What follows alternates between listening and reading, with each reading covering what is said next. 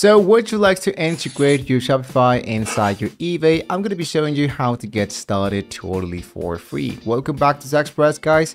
Uh, let's get started. First of all, let's understand the Shopify and the eBay integration.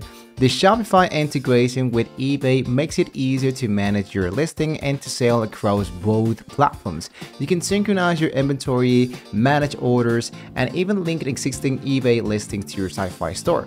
It's a fantastic way to maximize your online presences and sales opportunities. So first of all, let's try to set up the integration into Shopify.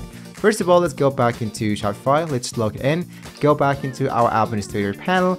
Then what you want to do is to go into Shopify App Store and what you wanted to do is to look out for the eBay integration. Just type eBay and see if there's an actual integration that will be helping you to make it really, really easy. As you can see, there's a lot of integration that you can choose. Of course, what you wanted to do is to try to look out for a marketplace connected. For example, this the section of Shopify Marketplace connected here. I just hit into install and once you find the application install it to your shopify store later on it's going to uh, asking you to install the application and then you're actually good to go after installing the application the next step is to connect your ebay store if you don't have an eBay account yet, you'll need to create one.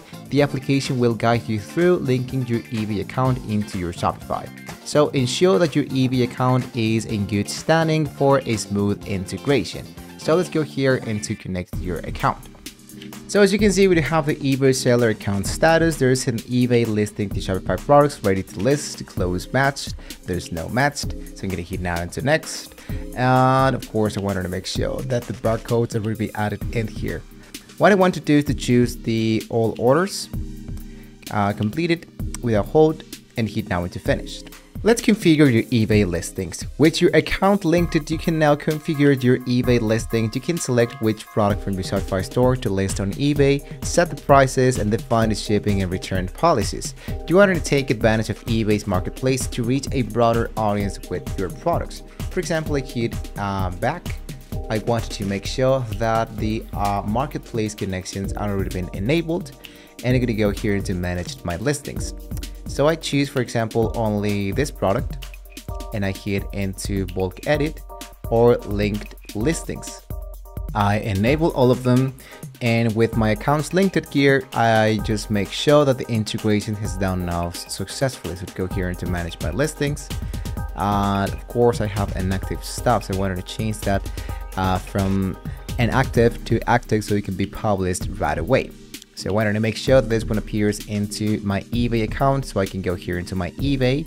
Integration Shopify. Integrating Shopify with eBay is a straightforward process that can significantly expand your online business by managing your listing and orders across both platforms. You can streamline your operations and grow your sales. So what you wanted to make sure guys is that if I go into my selling section, I am now going to be able to sell stuff for free. Even in here, I have the section that I can list up to 200 items for free every month. So you want to make sure that you are not going less or more when you want to list your items directly from your Shopify store. So uh, with that being said, guys, this is how we can get started here into your actual Shopify from Shopify into uh, eBay.